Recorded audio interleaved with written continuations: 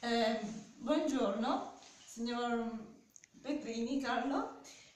Eh, adesso le rivolgerò alcune domande e lei mi risponderà semplicemente. Allora, intanto benvenuto. Grazie. Prego. E posso darle del tu e ci mancherebbe, eh? Beh, perché ti sei dedicata al settore agricolo? Perché il settore agricolo è il settore più importante per la vita delle persone. Con l'agricoltura si ottiene il cibo e il cibo è quello che ci dà l'energia per vivere. Quindi era importante lavorare in quel settore. E immaginavi tutto questo successo? Questa è una bella domanda. Ultimamente dico di sì, però non è vero. Ah. Quindi diciamo che le cose sono venute pian piano, no? Si è cominciato, poi dopo si è cresciuti e, e adesso siamo questa grande realtà. Bene, secondo te ci sarà un ritorno alla terra? Sì, abbiamo già dei segnali di tanti giovani che tornano alla terra, quindi vedremo dei nuovi contadini, dei nuovi, dei nuovi personaggi che hanno a cuore l'ambiente, la natura, il bene comune e che lavoreranno bene partendo proprio dal rispetto per la terra.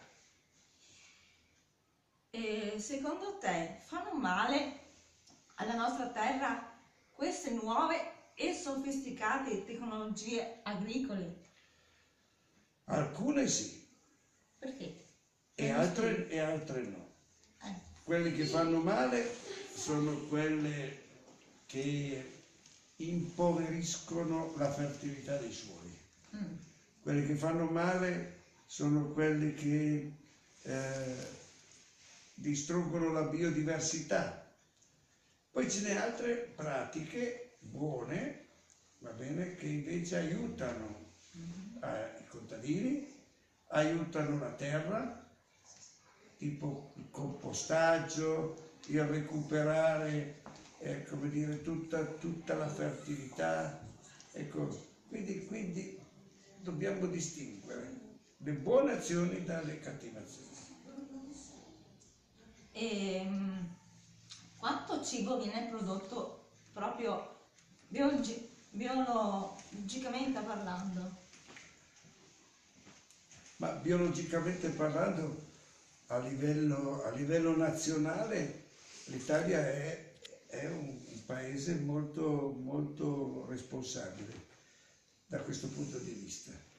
Poi, come sai, c'è anche qualcuno che, che gioca un po' male, va bene? e che, che, si dichiara biologico e non lo è.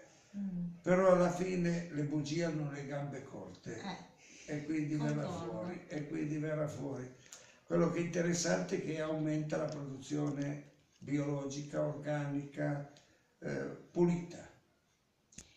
La tua posizione sugli OGM è totale o ritieni che alcuni tipi di modifiche possono essere attuabili. E poi, come combatti l'OGM per la difesa del territorio? Ah là là. Eh, questo argomento merita, merita approfondimenti, però se vogliamo essere, come dire, eh, concentrare la risposta, eh, bisogna dire che queste tecnologie che eh, mettono assieme geni diversi.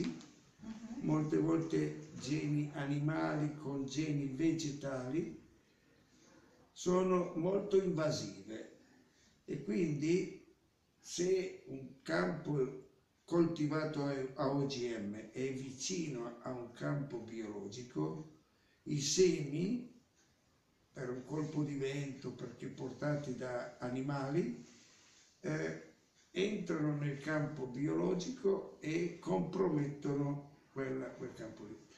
Questo non è, non è bello perché se io voglio fare biologico non posso subire queste cose. Poi c'è un'altra questione, che queste tecnologie sono in mano a poche realtà, grandi multinazionali. Io invece sono per una realtà diffusa di piccoli contadini che hanno il diritto di lavorare, il diritto di guadagnare e eh, non devono essere dipendenti da grandi multinazionali. Mm. Abbiamo letto l'introduzione all'enciclica Laudato Si. Tu parli di rottura che rischia di essere insanabile. Cosa intendi? Ma intendo che eh, questo momento viviamo un momento difficile perché la nostra terra madre è eh, molto maltrattata, Compromesso. compromessa. Eh, quindi eh, se continuiamo a- sulle cattive pratiche arrivo- arriveremo a un punto che non potremo più dire, risanare queste ferite. E quindi è importante, come dice Papa Francesco, non perdere tempo, impegnarci tutti perché partendo dai nostri comportamenti individuali possiamo cambiare la realtà delle cose. Ci dicono di... Ale, ultima, scegli quale, ne sono due, scegli quale fare Ce n'è due eh? insieme Eh, a sì. e le fai tutte e due. Bene. Vai. Cosa intendi per relazioni povere? Relazioni povere eh, sono quando ci sono, come dire, degli, eh, degli incontri dove non si scambia niente, sono molto formali ma non profondi. Queste sono relazioni povere, noi abbiamo invece bisogno di relazioni ricche, ricche di gioia, ricche di solidarietà, ricche di affetto. E quindi, quindi queste relazioni più ricche sono quelle che ci servono, innanzitutto alla nostra felicità e poi alla comunità. L'ultimissima domanda, perché la fraternità è importante per l'uomo? ma perché è, è l'unica eh, realtà che ci, che ci impone l'ascolto, la tolleranza, l'apertura. Eh, nella rivoluzione francese ci sono tre valori, libertà, uguaglianza e fraternità.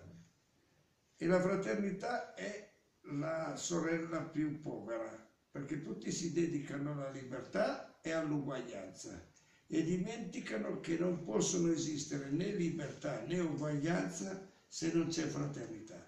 Bisogna partire dalla fraternità e poi si ottiene anche libertà e uguaglianza. Va bene, con le domande abbiamo... Io però vorrei complimentarmi, perché una ricerca così è stata preziosa. Ho fatto... Ma non è solo merito mio però. E l'ho capito, ma, ma- ma- addirittura gli OGM mi mi- hai scrofugliato per bene. Eh? Abbiamo finito l'intervista, adesso la, Salutiamola? la saluto. Sì. Salutiamo la telecamera e la lascio andare. Perfetto.